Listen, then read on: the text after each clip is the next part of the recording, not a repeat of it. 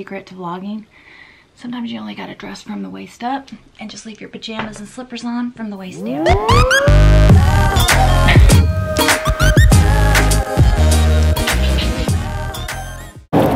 We are actually heading the opposite direction right now than our dinner location because I am so obsessed with getting a new camera. We're actually gonna go check one out first before we head to dinner. New vlogger props run into Best Buy so we can look at a new camera. But first, Jay wants to take a look at this awesome car. That's pretty nice. That's not what we're here for. We're here for a camera.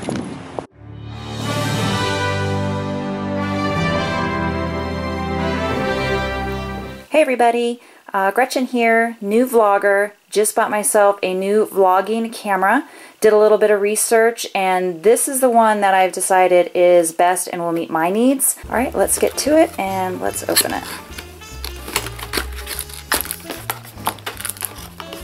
Instructions, which I will definitely need. Um, looks like a warranty type card. And looks like the camera itself. Nice. It is exactly what I was hoping for. Um, why I chose this over the Sony is um, a couple reasons. It has image stabilization that the Sony does not have and watching a couple videos again I noticed a difference um, when people videotape this against the Sony. Um, also what I like about this one and again I am by no means a professional so I'm just coming from a girl's opinion brand new vlogger what I like. Um, so image stabilization, and I liked the size of this. This one has a good grip. I don't know if you can see it very well, but um, it's got a spot to hold. Even on the back side, has a little thumb groove right there um, that you can put your hand in, and it just feels sturdy. It Doesn't feel like it's going to slip out of your hand. When I held the Sony, I felt like it was going to slip out of my hand when using it. And being new and not super comfortable around these types of cameras, I wanted something I felt comfortable holding. So again, that's why I chose this one over the Sony. Um, same thing as the Sony as far as the flip screen. Flips up for selfies, so that's really nice. This also is a touch screen, so you can touch it and give it um, commands that way. Also, the screen folds out, similar to the Sony as well. Let's check out the size difference, or let me put something up comparable to this so you can see um, the size.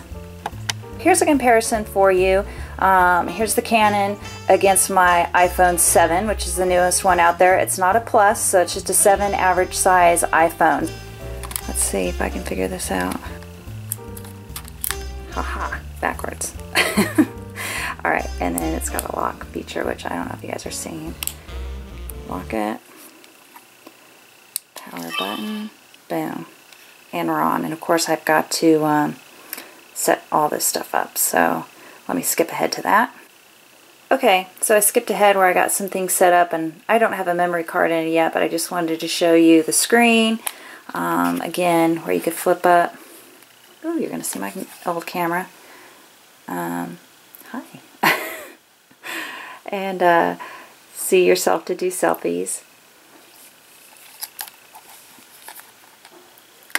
And then also wanted to show you that it is touchscreen, which I really like. So you can do a quick functions there. Um, it does have the flash, which I'll turn it this way. Oops, I'm touching the screen. Flash here, which is just a side button over here. Um, that can go up and down, and I think I saw on something where this can tilt up if you need it to, but I don't know how you get it to stay there. So I'm to have to figure that out if it even can stay up. Um, so that goes up and down. One person on a vlog talked about the clicks here, but I guess with this new one, it's got a button over here feature that you can turn it, and you no longer hear the clicks if you want to manually turn that. So other items in the box. Charging station. Battery, um, and then looks like we got a strap. And that's it. So, boom. New camera. Maybe I will um, compare this to my Sony, which is a camcorder type Sony, and shoot some footage. I'm a beginner and I don't know if I know how to do all that, but. Hi guys. Uh, now I'm going to show you the difference between the two cameras as far as lighting is concerned. Right now, I do have some video lights in front of me that are casting direct um, light on my face. And check my link down below because some of you have commented in my previous camera video about lights and wanting to get into lighting um, as well. And I have found these on Amazon and they are cheap but really good quality. So um, compared to what I saw at that video store in my last vlog, they were super expensive and didn't look quite the quality of these. Now, obviously they did have bigger and, you know, nicer quality ones for big productions, but if you're a small-time blogger like me or kind of getting up in the ranks, um, these lights are gonna suit you just fine. So I will put a link to those. But getting back to the cameras, um, on my right is my Canon and on my left is my old Sony. So you can just kind of see the lighting. This is where I would normally sit to do kind of like my dialogues in my vlogs. So um, we can see the lighting there. I do have some lights still on in the room. This is lighting with the two cameras right now. Now let's talk about the zoom quality, which I think there's a bit of difference. Um, I really do believe that my old Sony zooms better um, and I'll show you hopefully um, the difference with that. So I've chosen um, one of my favorite lip balms which is Dior's Lip Glow. Um, I have it on right now. It's not an actual color itself. It looks pink but goes on clear. Um, anyways, I'm going to put this up towards the uh, camera just to see how it zooms. So we're going to do the Sony first. And as you can tell, the Sony stays right on it. Um, there is no lag in, you know, zooming in on it, especially on the name of the lip balm. And now we'll go to the Canon. And this is what I've discovered with the Canon, is it does not focus very well on small objects. You can see it's still focused on my face. Now I can touch screen it and then the lip glow comes into focus, which that's okay, but sometimes you just want to throw something up quickly and have it um, focus in real quickly, but it doesn't. And then I could touch the screen back, maybe, yeah, it's thinking about it now.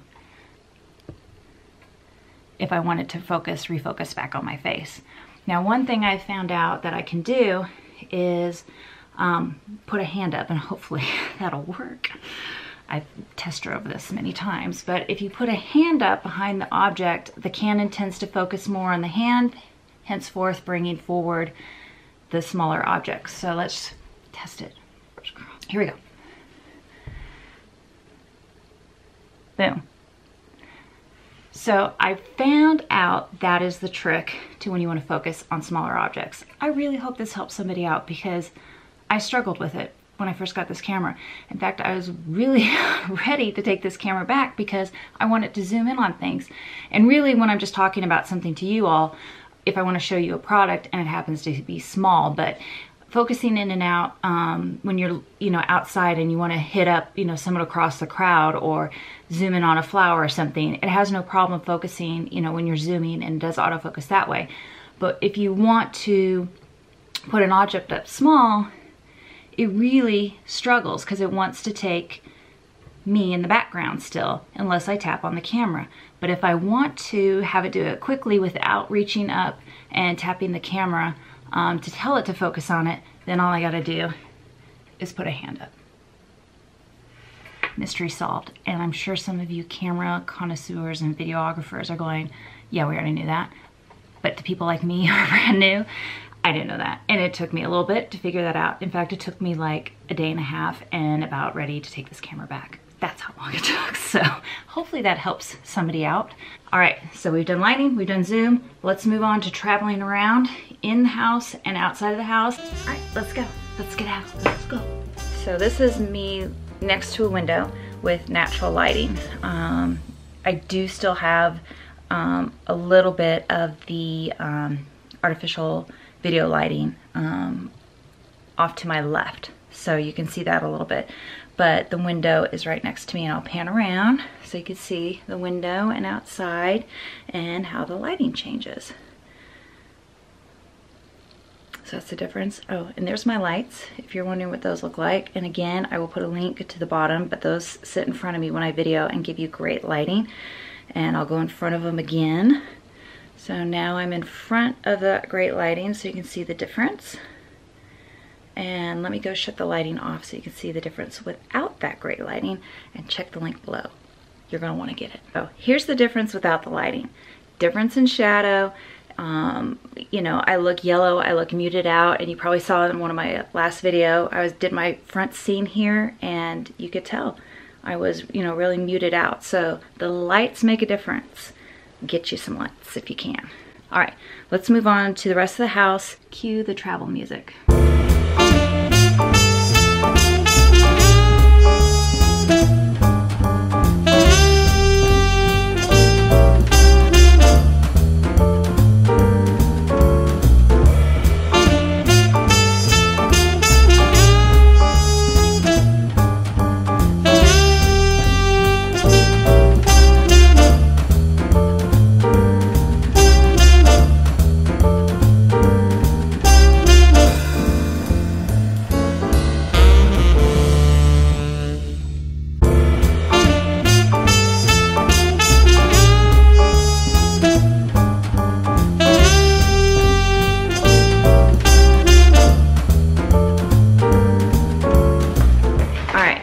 Watch any of my videos, you know I do my kitchen scenes right here. So you can see the difference of lighting now with my kitchen scenes and this ugly kitchen lighting.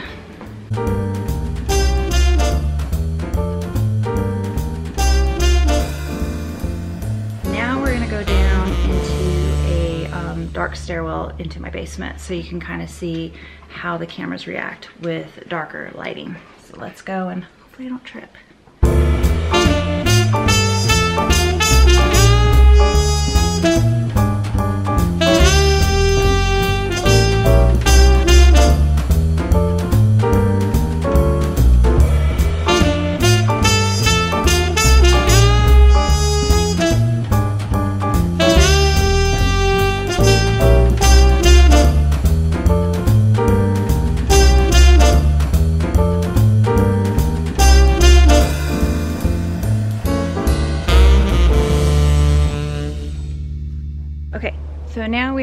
And hopefully you can see the difference between the two. Again, the Canon is on my right and the Sony is on my left. And we're just gonna pan around and see some different lighting.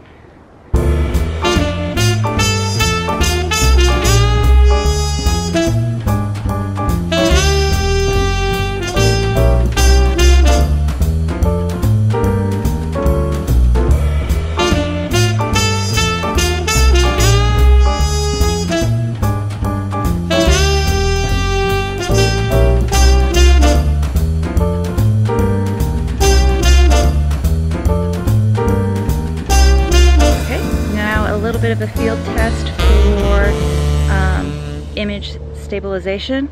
Watch me run and hold these heavy things. Here we go.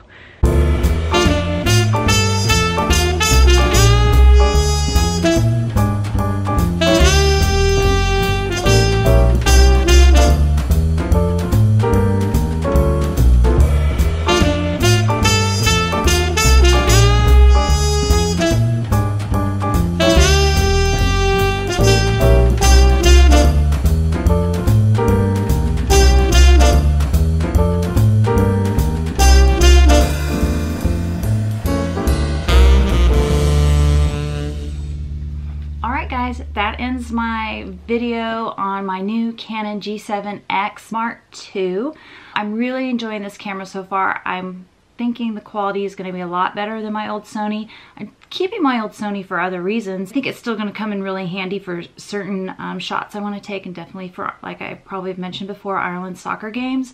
So I will utilize both cameras still, but I think this one is going to suit my vlogging style a lot more easily than my Sony. Um, the one thing I'm still kind of bummed about with this Canon is the autofocus on smaller objects quickly. But if you know, um, you know, all you camera connoisseurs out there that might be watching my video, if you know a way to make that autofocus on small things, um, you know, react on its own without a bigger object behind it, definitely leave me a comment. And leave me a comment about any tricks or settings that you might know in regards to the Canon G7X because I'm still learning and I'm watching YouTube tutorials on it and I would love for you guys to, you know, give me a heads up and make my life easier so I don't have to search the World Wide Web on um, figuring out my camera. So comments below are great. Definitely check out my links below. I'm gonna put my lighting up, the current camera, my old camera, tripod, other camera things, and I also put some fashion links in my um, information below too, just in case you want to check out some of the things you might see me wearing or using in my vlogs as well. So always check those out. Subscribe if you're liking my channel. I love all the new subscribers I've gotten in the last couple weeks. I appreciate you guys. Many, many loves to you guys. And I definitely am heading over to your videos too. So subscribe to me, I'll subscribe to you. Until next time, guys, thanks. See ya. And don't forget, keep chasing life, will ya? Here comes the disclaimer. I'm not a camera expert.